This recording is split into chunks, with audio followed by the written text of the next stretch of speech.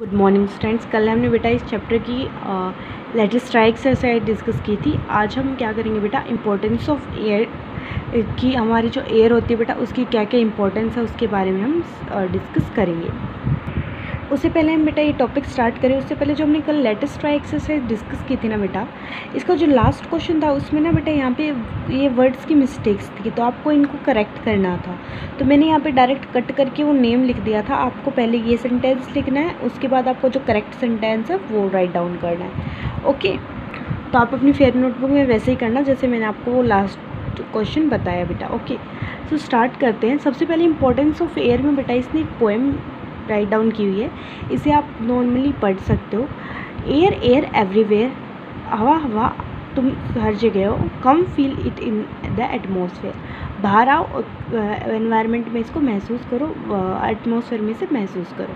Animals birds and insect all need air to live जितने भी animals होते हैं बर्ड्स होते हैं इंसेक्ट होते हैं उन सबको बेटा किसकी ज़रूरत होती है? हवा की ज़रूरत होती है अपनी लाइफ को अपनी लाइफ के लिए, अपने जीवन के लिए।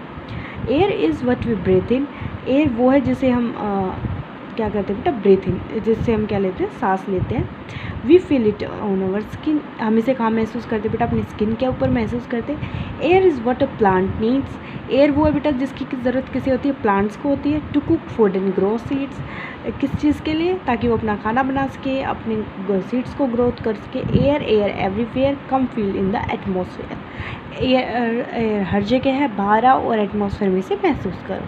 तो एक छोटी सी पोएम है, आप इसे सिंपली लर्न कर सकते हो. मेन टॉपिक आपका अब स्टार्ट होता है. आज हमें क्या डिस्कस करना है बेटा? इंपॉर्टेंस ऑफ़ एयर यानी कि जो हमारी एयर होती है हमारी जो हवा होती है बेटा उसका इम्पोर्टेंस क्या है? उसकी उस, उसकी ज़रूरत हमें क्यों है? Animals and human being need air to breathe they breathe in oxygen and breathe out carbon dioxide इसने क्या बताया बेटा? एनिमल्स हो या फिर ह्यूमन बींग्स हो? दोनों को किसकी ज़रूरत होती है बेटा? हवा ऑक्सीजन की ज़रूरत होती है। ठीक है? ऑक्सीजन किसमें प्रेजेंट होती है बेटा? एयर के अंदर प्रेजेंट होती है। तो इसलिए हमें एयर की रिक्वायरमेंट है हमारी लाइफ के लिए। दे ब्रीद इन ऑक्सीजन वो बेटा ऑक्सीजन तो लेते हैं and breathe out carbon dioxide और क्या छोड़ते हैं बेटा? कार्बन डाइऑक्साइड छोड़ते हैं। Plants takes carbon dioxide and release it by animals and human beings to prepare food. और जो हम कार्बन डाइऑक्साइड हम रिलीज़ करते हैं बेटा, जो हम कार्बन डाइऑक्साइड छोड़ते हैं, उसे कौन ले लेता है बेटा? हमारे प्लांट्स ले लेते हैं किस चीज़ के लिए?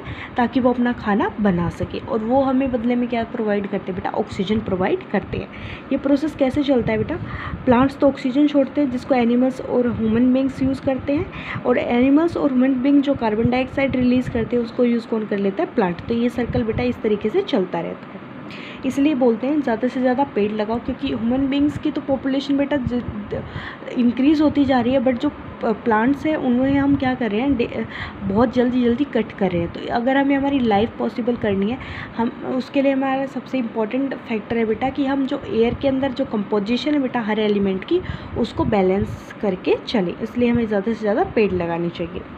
उसके बाद बेटा nitrogen is release when plants and animals died and decay nitrogen gas कब निकलती है बेटा? जब जो कोई भी पेड़ या फिर कोई भी जानवर डेड तो हो जाता है, यानी कि मर जाता है और किसमें मिल जाता है बेटा? ज़मीन के अंदर मिल जाता है। तो उनके अंदर से कौन सी गैस रिलीज़ होती है? नाइट्रोजन गैस रिलीज़ होती है। Nitrogen help plant grow nitrogen किस चीज़ में मदद करती है बेटा? प्लांट्स को उनकी ग्रोथ में, उनके बढ़ने में हेल्प करती है। The tyre of cycle car truck scooter and other vehicle need to be inflated with air जितने भी बेटा टायर होते हैं, चाहे वह साइकिल का हो कार का हो ट्रक का हो स्कूटर का हो या फिर किसी दूसरे व्हीकल का हो, उनके अंदर भी क्या करी जाती है बेटा? हवा से उन्हें फुलाया जाता है, हवा उनके अंदर भी भरी जाती है।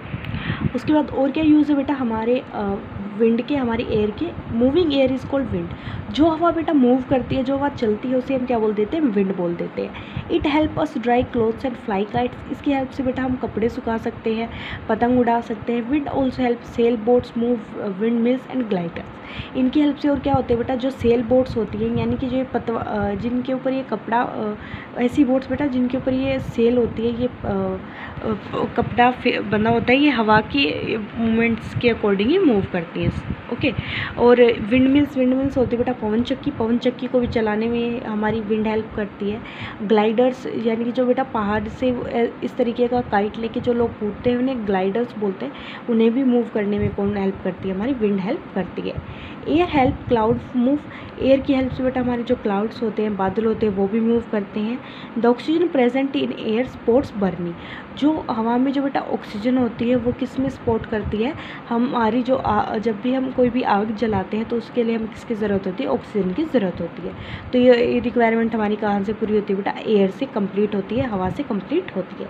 Air help in warming and cooling things air की मदद से बेटा हम चीज़ों को ठंडा कर सकते हैं, गर्म कर सकते हैं ओके तो ये सारे क्या थे बेटा? इंपॉर्टेंस ऑफ़ एयर थे। कल हम बेटा एयर की प्रॉपर्टीज़ के बारे में डिस्कस करेंगे ओके थैंक यू